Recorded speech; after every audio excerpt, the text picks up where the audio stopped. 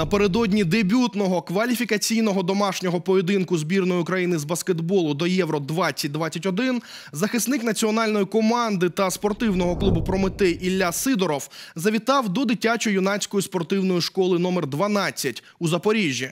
Разом з партнером по збірні Іваном Ткаченком Сидоров провів з юними баскетболістами повноцінне тренування, розминку, роботу у трійках, пробиття штрафних на швидкість та двосторонні спаринги пліч-опліч. По завершенню гравці головної команди країни потішили юнаків ефектними слем-данками.